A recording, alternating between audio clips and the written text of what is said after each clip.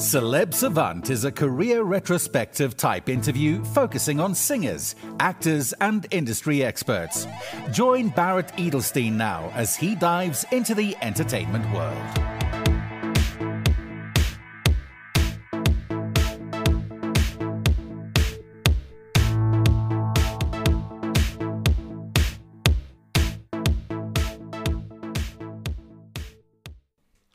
With 11 studio albums to his name, whilst receiving legendary status as a globally respected purveyor of the blues for over 10 years, guitarist and singer songwriter South African Dan Patlansky is one of the world's finest blue based storytellers of his generation. Voted the number four best guitarist in the world, Dan remains the only artist in the world with two worldwide number one as well as two worldwide number two best blues rock albums as voted by Blues Rock Review USA. Dan has headlined his own sold out shows all around the world, as well as opening for the likes of Joe Satriani and Bruce Springsteen, to name a few. His 11th and latest release, Moving On, was released in 2024. Up next on Celeb Savant, we've got Dan Patlansky. Where in the world are you and how are you doing? it's great to be with you. I'm currently very briefly at home in Pretoria, um, in my home studio, and then off to off to Europe soon. So it's it's great to be home and great to be on your podcast. Thank you. For joining us. And now tell us where are you going in Europe? Um, it's actually I'm, I'm wrong. It's actually the UK, which I you know I keep forgetting about Brexit and all that sort of nonsense. okay. Yeah, yeah. So so it's it's it's a UK um, tour, and we are doing one show in Budapest like on the way back home. Um, yeah, so that's that's the next tour we're doing, and yeah, look forward to it. Okay, so now let's rewind. At what age did you re- realize, cool, you want to be in the entertainment music world, whether it was a child or teenager, and how did that journey progress to where we are today? Well, so you know, I grew up listening to a lot of music. You know, I didn't really grow up with necessarily people playing music and making music, but it was parents that listened to music all the time. So I think I had a fantastic upbringing musically, you know, f- uh, from them. Um, and, you know, a, it was always a dream to be able to play guitar and make music for a living. But, you know, it was always more of a pipe dream than, yeah, it, was, it never seemed to be a reality. It was like going to Los Angeles to be an actor, right? It's like your, your chances of success are, are very, very small. It's great to to finally there, there, there, was like a time in my life where I realized, wow, I'm actually getting paid to do this. It, this is brilliant. This is absolutely brilliant. And that's when I kind of realized for the first time that, you know, there's, there's some level, you know, I'm, I'm doing this. I'm doing it professionally now. And, you know, you know, from then I just kind of kept on pushing away at it, um, kept touring. I think the, the secret is, is touring as much as you possibly can, um, just to keep, to get it going and um, and yeah, it's just kind of built slowly but surely, very slowly but surely. You know, over the last you know thirty something years of eventually kind of you know still not there yet where I want to be, but you know, kind of getting a little bit more well known, getting better gigs. Uh, being able to see the world, travel, and you know, get paid to do that. So that's really it, you know. Before you realized that it was something that you were making money from, did, were you doing any other sort of day jobs on the side? Not really. Um, you know, I started young enough, right? And I think that's an important thing about making it in the music industry. It's a lot easier if you start younger because you don't necessarily need to make X amount of money a month to cover your home loan, this, that, the next thing, school fees, all that kind of stuff, right? Um, that's a lot harder when you're a little bit more established and you're a little bit older. So that afforded me to not get a day job and just to really focus all my time and energy, you know, on doing what I do. Um, and, and not having to worry too much about money because I was still young, still living at home. Um, so I've never really had a day job in my life, uh, you know, and um, I'm, I'm, I'm blessed to say that, that I haven't had a day job. I've always, um, managed to make the music thing work. Um, you know, not necessarily earning a, a, enough money from it back in the day, but just young enough to push through and to be able to just take it to the next level, take it to the next level, take it to the next level. You mentioned that you're going on tour, so you've naturally performed your own headline shows, you've opened for other artists, and so forth. So, first of all, what do you enjoy about performing? Everything. For me, that is the bread and butter. Not not not just financially, but just for my soul. That, that, that that's why I do this. You know, um, I love performing live. Uh. I love um, kind of feeding off an energy of an audience, right? And you know, the, energy of an audience really dictates on how the show goes. You know, because you know a big part of what I do is improvised and is on the spot. Um, you know, a, a, a, great audience reaction and a great energy from an audience really makes the world of difference. It really, really pushes in, in, in, a, in, a, in a fantastic way. So for me, it's everything. And I think also just by default now, the way the music industry um, has turned out is it's the only way you can actually make a living in today's world, you know, is by performing live because there's, there's not much revenue anymore from album sales because of the streaming thing, um, you know, which has its ups and downs to the streaming thing. Um, so it kind of suits me in a way that I've got to tour more and I can't just sit back and record music and release it and earn a living from that. So yeah, that's really it for me. It's just that energy from an audience that, that makes me love performing live so much. Okay, so I've got a point of discussion. So I've spoken to a lot of artists around this. Some are pro, some are against. So I'd like to hear your perception. I'm normally that person that's right in front. Jamming, I'll take my cell phone out for my cell phone out for maybe one or two videos, one or two photos, and then I put it away. I notice people around me oftentimes 60, 70, 80% of the time filming, tweeting, posting, photoing, recording. From a person that's receiving that, do you not feel that that takes away that energy connection you were referencing, or is it just where society is it?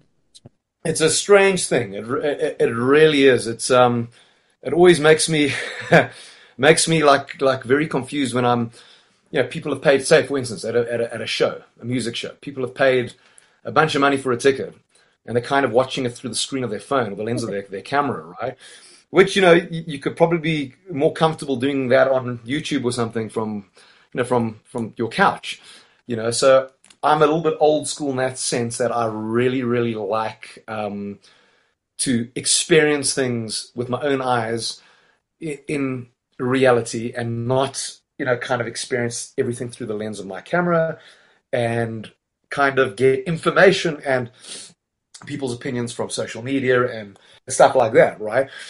It's a strange thing. I think it's kind of maybe I'm part of that generation that I find the phone an awesome tool. I, I really do. It's, it's, an awesome tool, and yes, I probably spend way way too much time on my phone compared, you know, compared to if we didn't have it. And and, and what I would like. But I'm definitely not a person that that believes in you know, using my phone as kind of like a comfort blanket. I think that's what, what you were kind of describing when you're out there. Is people use their, their their phones because there's no one to talk to and they're feeling awkward, so they just go into this into this other world. You know, it, it, it's a it's a crazy thing, and you know, on, on on the phone front and the digital front, when it comes to stuff like streaming, and stuff. I think you know, as I said, there's there's massive ups and downs with it. I think the downs are musicians are getting kind of screwed over royal, uh, royally on, on on money on people listening to, to to their music, but on the upside, your music can be available to everyone on the planet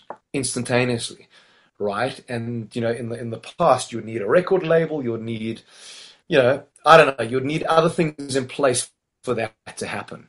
So I don't know. It was a very roundabout way of answering the question, but I hope, I, hope I, well, I, mean, hope I answered it. But I love me a CD. I budget my CDs. I like the aesthetic of it, holding it, the journey of choosing, receiving, opening, looking at the pamphlets, listening to the album from beginning to end. I'm not sure if you're aware that CDs alone last year in the UK, 5.9 million sales, biggest since 1990. CDs are on an upward trajectory again, as well as cassettes and it's the younger, it's the teenagers and the early 20s that are buying it. You've referenced the streaming and that's the pros and cons. So, what are your observations or thoughts around physical versus streaming? Well, I think we're of a, a, similar generation. Just hearing, you know, just hearing your question and and what you love to do about what you love about a CD. That was the same for me. That was my that was my youth going into a CD shop and grabbing five CDs you want to listen to, and you go to one of those like listening to sta- listening stations, mm-hmm. and there's a dude behind there that puts the CD in, and, and, and you get you, you get to kind of give the CD a go and see if you want to buy it. So that's my generation. So my feeling on physical product is massive. I love it. I way way prefer it. I think it's more special. Um, I also think your focus when you're listening to a CD is far more focused on the album than just streaming because streaming yeah. is so so quick, so easy that you tend to listen to one song from an album you like, and then you you go to another song from a different album and from a different genre, and you you keep jumping, right? And that's a kind of world of a short attention span type of yes. thing, right? But if you make the effort of opening a, box, a CD box, putting it into your CD player, if it's in your car or if it's in your, your house or whatever the case is, you, are more likely to listen to the whole album from beginning to start, right? And that's that's my my world, right? I absolutely love it. And you know, obviously, just from a financial perspective, it's it's it's great to have a merch table at a show that's got CDs, it's got vinyls, it's got physical product that people can buy. You can meet the fans, you can meet someone who's buying the CD, you can have a quick chat to them about the CD, you can actually sign the CD for them. And you know, that's a special thing for them. You know what I'm saying? It is. So I'm definitely on the same page as you regarding physical product. It really is, and it's such it's it really is fantastic news to hear that CDs are making a comeback. Some sort of physical products making a comeback. You know, it's it's it's brilliant. Okay, so now tell us about the latest album. Okay, latest album. Moving on. Um, you know, in a nutshell, is really an album that I've wanted to make for the last ten years of my life, and you know, just didn't have the guts to make it um, for many reasons. Um, you know, some of the reasons were people that were in my life, um, if it was producers, management, all that kind of stuff going, no, that's not the way you need to go in this particular direction. Or if it was PR people telling me that. And also just wondering that if I made, made the album I really wanted to make, um, are existing fans, am I going to lose existing fans? You know? So thankfully that hasn't been the case. And, and the, the response you know, from the new album, well, for the new album has been overwhelmingly fantastic, which is a relief more than anything. Um, and the reason I say it's the album I've wanted to make for the last 10 years is um, I want to make an album that if I died tomorrow, it would be, I'd want to be remembered by that particular sound, those particular songs, and the way it was arranged and, and performed, um, which is very much a roots, back to my roots, a real raw live sound. That's what I was really after, and it's risky because you you you you're releasing an album that just sounds. And I know it sounds weird when I put it this way, but it just sounds like a band performing in a room, right? And then then you think to yourself, shouldn't all albums be like that? The band exactly, yeah. performing in a room. It's like that's the way they sound live, right? Yeah, it's just a very, very good live performance, right? That you know you've picked you've picked a, a, great take, and that's really what this album was. And another thing that was that was weighed heavy on me with this album was if I wasn't the artist, this must be an album that I would buy, you know, that I would buy and want to listen to. And you know, I, I feel you know just for, for, for myself, I feel I've definitely achieved that, and am very, very proud of kind of the final results of that album and relieved that people are enjoying the album. That is that that's a big one for me because you never know.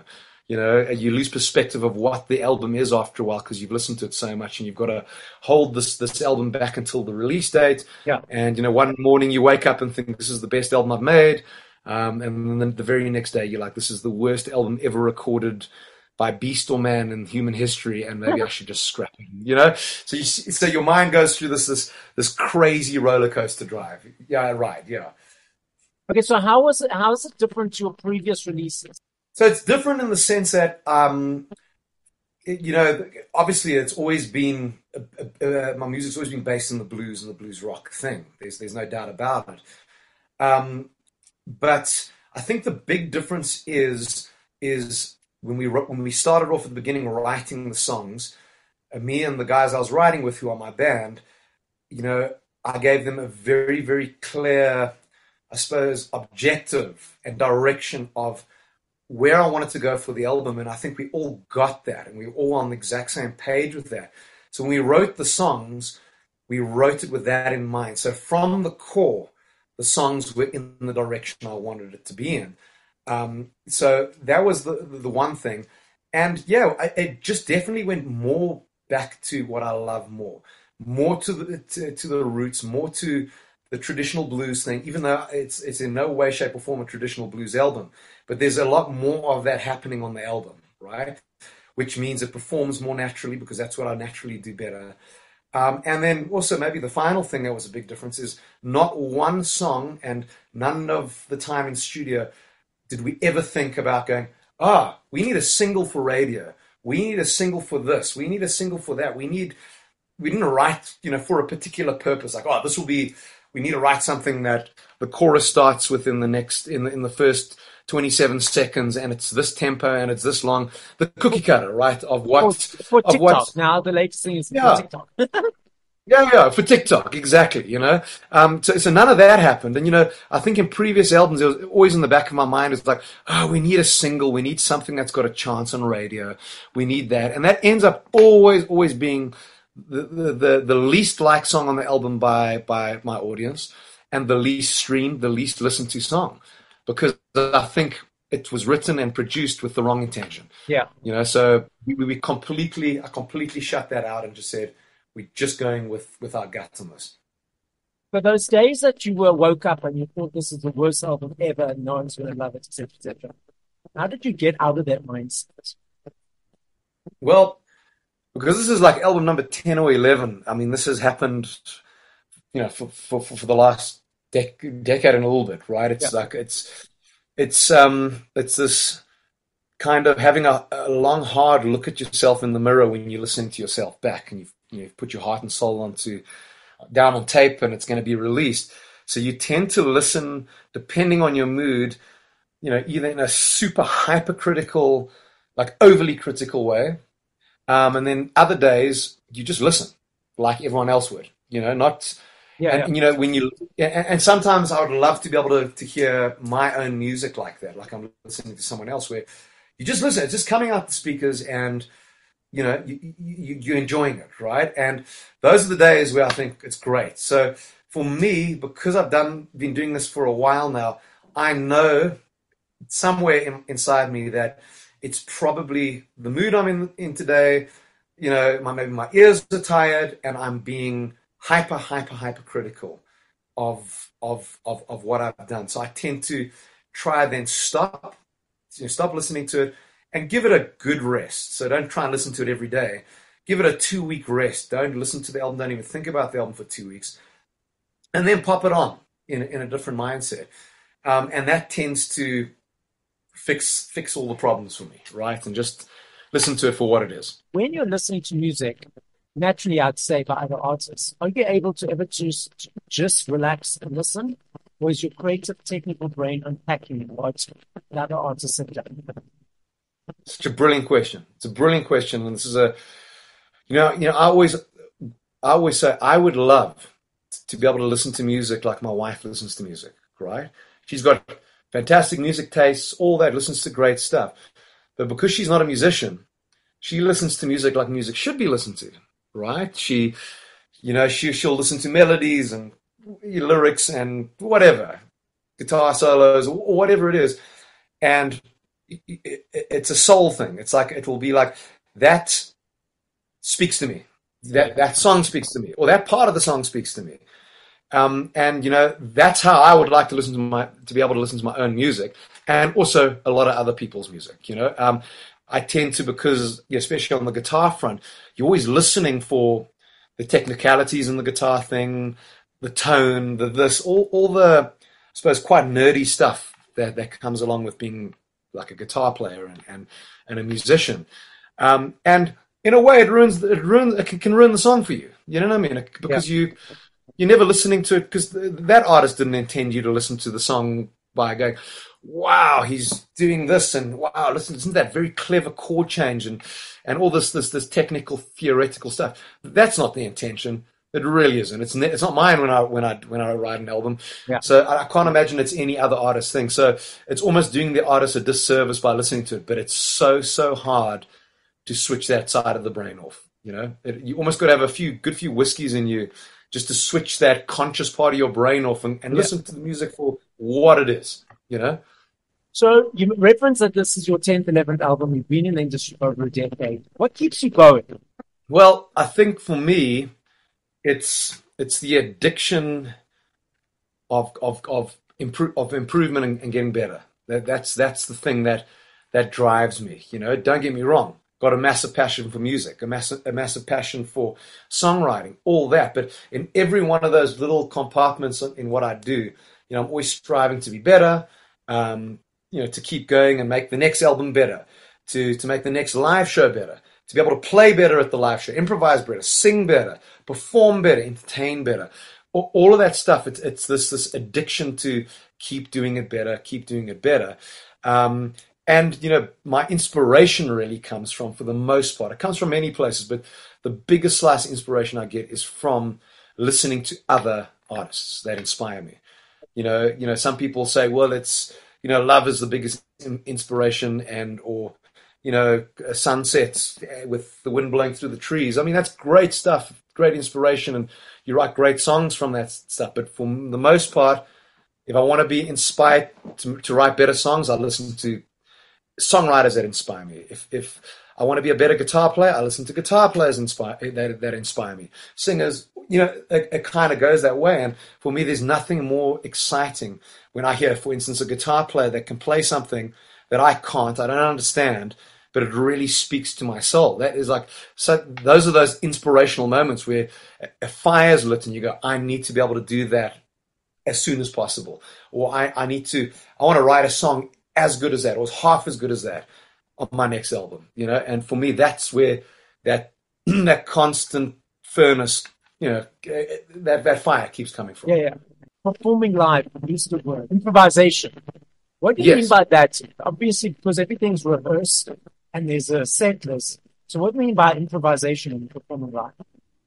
Right. So what I mean by that is it's, you know, because of the nature of what I do, this guitar driven blues rock type of thing, the guitar as an instrument is is a very, very big key part of what I do and the guitar solos. And it's you know, it's it's part you know, part of the reason why it's not the, the most commercial music, because there's long guitar solos. There's a lot of that. So when it comes to improvising, the song itself is structured in, in a certain way, rehearsed, as you say, arranged like that. The lyrics and the melody and the chords will be the same every night. But when it comes to the guitar solos, which, as I say, is a big part, those will be completely different every night. There's no preconceived idea on what's going to be played. It's not like I'm you know, I'm learning whatever solo I did on the record. I'm learning that and memorizing it and playing it note for note. It's felt and played completely differently every night, which kind of that that's another thing that keeps me interested in music is that that that ability to be able to improvise and see where the music goes on a on a particular night. But as you can imagine, music sometimes, if you're not feeling it on a particular night, won't be your best night at you know at the office because it's an improvised thing and you're not thinking about it you're just going you're just playing. Mm. and if you're not in the right headspace or in the right your heart's not in the right space it doesn't always go to go as planned right? But then on the other side when it goes right it, there's there's kind of no feeling in the world quite like it right? Where you've just kind of out of fresh air you've strung this the solo together that makes sense to you at the time and, yep. and you get this fantastic reaction from the audience. So that's kind of what I mean by improvise. It's really just the guitar playing, really, the guitar solos, and there's a bunch of that in my music. So obviously you need to have had lots of experience with your fellow, fellow band members so that they know your energy in that um, with those improvisations. Yeah. So I would say I mean, you can do it with, with session musicians that you played with for the first time. It's just not as good. Um, it's a a feel thing. So if you've been playing with the same bunch of musicians for a while, they understand where you tend to go in your solos, what what, what are trends while improvising. Um, and you know, if, if it goes from a soft, gentle part of the solo and it goes to a loud, more aggressive part in the solo, you know, if you've been playing with guys for a long time, that will happen naturally you won't have to look at them and say, okay, well, in the next bar or so, we, we're going to be doing this, you know. Um, so that that happens more naturally. And if you're playing with musicians you haven't played with a lot, you know, it's a little bit more difficult to communicate on on stage. It's a it's more of a body language thing more than you know, kind of uh, raising an eyebrow or, or, shouting something across the yeah. stage. It's it's like they can feel it with you. The, yeah. the, the solo will naturally feel it needs to go there, and they can feel that too. So it is a big, big part, kind of having some sort of consistency with the, the musicians you played with. So I love this game. I know I, have, I had to ask this question in two minutes, two years, five minutes. I know your answer will be different every time, simply because there are millions of them. I'm not saying favorite. I'm saying top of mind. If you had to push play to five songs by other artists once you finish this conversation, what would those five songs be about? Okay, so the first guy that comes to mind is my biggest influence, Steve Ray Vaughan. Um, so I would probably have to say um, a Texas Flood by Steve Ray Vaughan. That's that's just like a staple for me, and it's one that just came to mind. Um, another one that comes to mind, a song that I've been very, very recently introduced to, even though I've known this artist for a while, which is a guy called Chris Stapleton. Um, he's got a song called "The Fire." That's a great tune. Um, uh, jeez, Pink Floyd, "Shine On You Crazy Diamond," massive one for me. Elton John's uh, "Tiny Dancer," also just a an incredible, incredible tune, like just just unreal. And then I would have to say um, probably um, "Scar on the Sky" by um, Chris Cornell. Those will be the five that come up. Yes. So Dan, the podcast is listened to throughout the world. So as a final message, what would you like to say? I would like to say I'd love people to check out my new record. If you've heard me or uh, or you haven't heard me, um, give "Moving On" a listen and uh, give me a follow on social media to keep up up to date with where we're touring, where we're going to be, and um, yeah, look forward to seeing some of your listeners at some live shows. Thank you for listening to this episode of Celeb Savant. Please follow Barrett on TikTok, Instagram, YouTube, and Facebook at Celeb Savant. That's C E L E B S A V A N T.